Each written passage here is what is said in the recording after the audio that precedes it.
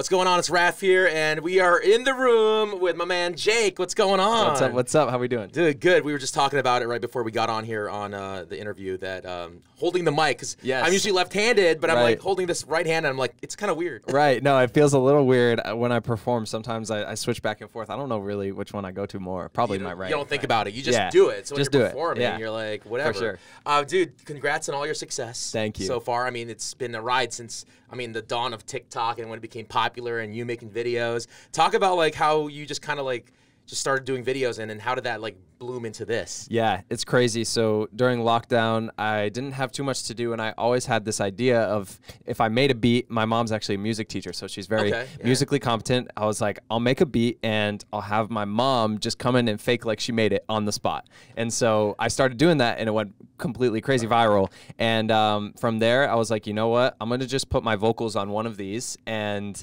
the song blew up. It was called Upside Down, and so that's Right. how I really got into dropping music. Uh, but I was writing songs for a long time before that. Oh, that's awesome. And I know um, I saw I think one of your vid- videos you were showing your music teacher the success you've had and Yes. like, kind of just started playing for her. Yeah. That went viral too. Uh, Yes. What your music teacher is probably so proud of you too. Like, Yeah, it's it's so cool to be able to do stuff like that. Yeah. You know, there's so many people who uh, I looked up to and, and really inspired me to to do what I'm doing. Yeah, definitely. And then, uh, you know, Golden Hour, of course, top 10 Billboard charts. Congratulations. Thank you, man. How, how did that feel finding out? Where did you find out? What was the Um, moment? so I was I was on the plane headed here for for my show, Right. and um, yeah, somehow got some Wi-Fi and, and saw it, and it's the craziest Yeah. thing to see my name uh, up there with all those other names. Like that was the craziest part to me.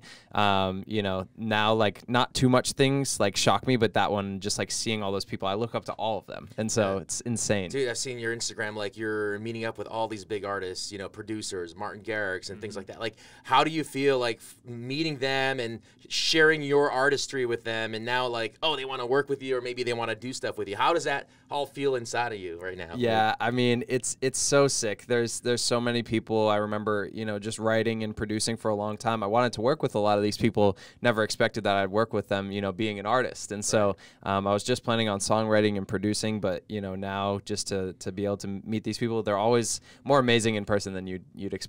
Who who do you, who was your or who was your music like inspiration, and who's your like the coolest person you met so far? Like, Yeah, for sure. I mean, it was crazy. Um, as the story goes, right when I dropped Upside Down, um, it, it started to really go crazy. And then um, Charlie Puth, who I've looked up Yeah. to for a long time, he dropped a remix, um, and we got to meet and make some TikToks. And yeah, he's he's the dopest guy ever. And so yeah, that was that was a sick moment. I know a lot of uh, artists too, like are dropping like verses in your like, golden hour or whatever. Yep, and uh, yep. I was at Tori Kelly did one recently. yes, I saw that. Insane. That was pretty cool. Yeah. Um, dude, man, you're doing all this stuff now. You did the two shows in New York and LA. You we, we saw your show in LA. Amazing, sold out by the way. Yeah, crazy. Uh, you said like if everyone sold out the shows, you would do more tour dates. Like, have you picked like cities yet? Have you done like the Yeah. list? Are you gonna drop the list soon? What's so the, yeah. I, I'm a man of my word. Uh-huh. I'm gonna I'm gonna make it happen. Um, yeah, we'll we'll see when when the announcement comes, but just stay tuned. I guess. Stay guess. tuned. Of course, people are going to be following you on socials For sure. finding out every little moment.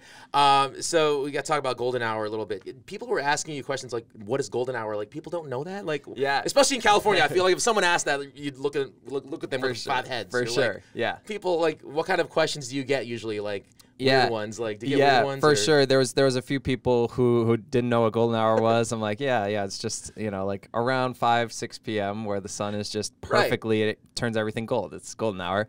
Um, another one is them. that I get a lot is uh, how tall are you? Or you're so tall. Oh my goodness. And I mean, you are tall. Yeah, You are sure. tall. What are you- uh, what's Uh, your height? Six foot seven with shoes on. So with shoes on. Yeah. Did you ever think about playing sports? Like, did you play sports? I did, and I actually quit my high school basketball team to uh, make music more often. Um, so that was kind of the way it went, and I still play for fun here and there, yeah, for are you- sure. where were you? a Center? You were. yeah, they, they wanted me as center, but uh, I'm a I'm a point guard at heart. okay, there we go. That's awesome, man. But I mean, you got to follow your dreams, right? The For sure. music. Uh, who do you want to do a collaboration with? Like, what, who are you looking know- forward to working with? Maybe shout them out on social. yeah, go no, viral. you know, it's crazy. I, I just started to kind of realize this, but like, you know, I'm from Rhode Island, and Right. I'm a big fan of Newport, and um, yeah, I, I just haven't even thought that I, she's even reachable. She probably isn't, but um, Taylor Swift is it literally lives like like 30 minutes from me. So um, Oh, I definitely gotta gotta reach out. But um, yeah, that would be so sick. Such a huge fan. Taylor Swift. There you go, man. Uh,